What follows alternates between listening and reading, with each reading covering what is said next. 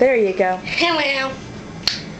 For all you crackers at home, crack on pancakes are delicious.